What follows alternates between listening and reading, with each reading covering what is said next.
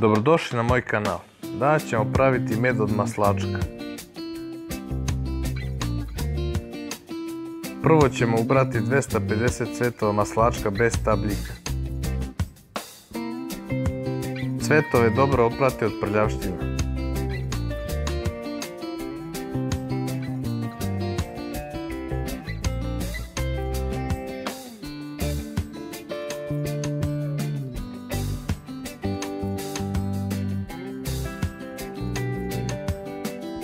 Staviti ih u šerpu i dodati 500 ml vode.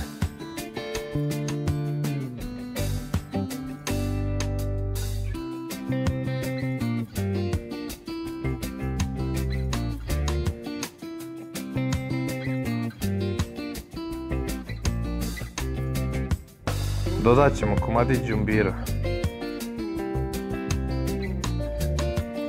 Jednu pomoranđu i limun isjeći na kolutove.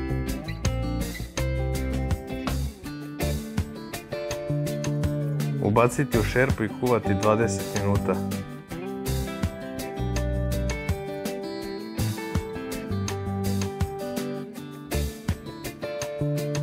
Procediti i pritisnuti da izađu svi sokovi.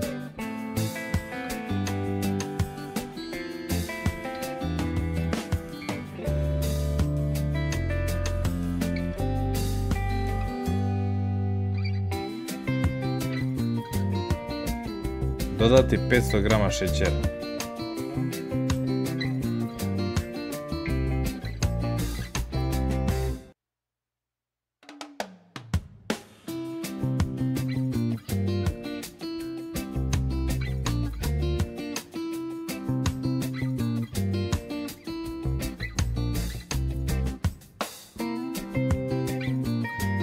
Kuvati dok ne dobijem konzistenciju meda Costato 3 minut otprilike.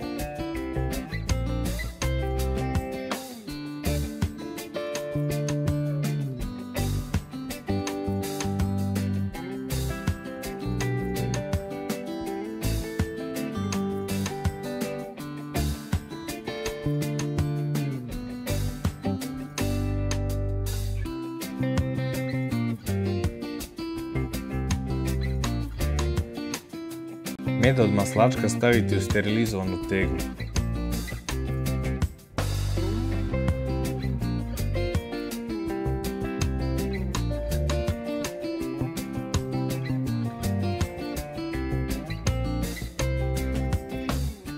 Prijaco.